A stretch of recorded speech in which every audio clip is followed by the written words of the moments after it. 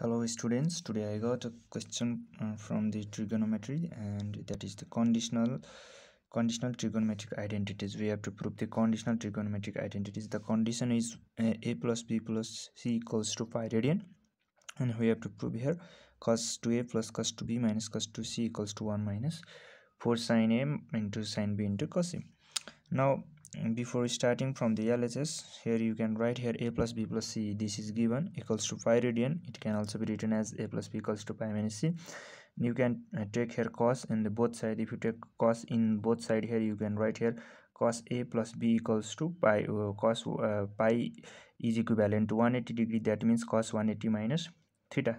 That means uh, cos a plus b and cos 180 minus theta is minus cos theta. So you can write here cos a plus b equals to minus cos c by taking um, cos on both side here.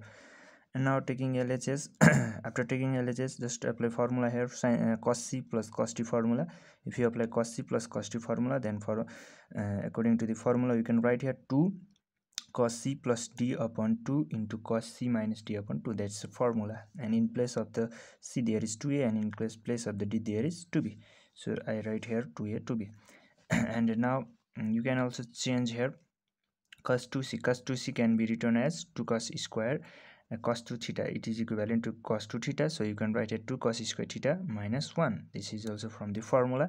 And now if you take the common 2 from here and there 2 and 2 get cancelled with each other. So you get here 2 cos a plus b and here also same cos a minus b. And if you open this bracket by multiplying by 2 you can write here minus 2 cos c square c plus minus into minus plus 1 and in the next step you can see here cos a plus b we have already written here cos a plus b can be replaced by minus cos c so that i replace here cos a plus b by minus cos c.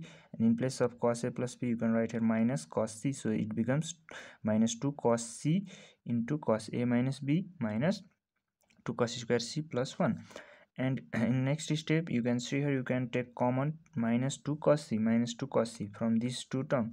If you take common minus 2 cos c here and here will be cos a minus b remaining and here will be the uh, if you take the minus 2 cos c common there here will be the plus cos c and this plus 1 is here as it is. And in next step next step i write here this one here 1 minus 1 minus 2 cos c 1 minus 2 cos c times cos a minus b cos a minus b and cos c. Here you can see cos c. In in place of cos a plus b you can write here minus cos c. Then in place of cos c you can write minus cos a plus b. So i replaced here cos c this cos c by minus cos a plus b. Cos a minus b minus cos a plus b. To apply the formula here now you can apply formula 1 minus. Here cos a minus b minus cos a plus b is the formula of 2 sine a into sine b. So i write here 2 sine a into sine b and this cos 2 cos c is here as it is 2 cos c and 2 into 2 is 4 and sine a sine b cos c. Therefore 1 minus 4 sine a sine b cos c equals to RHS proof. That's it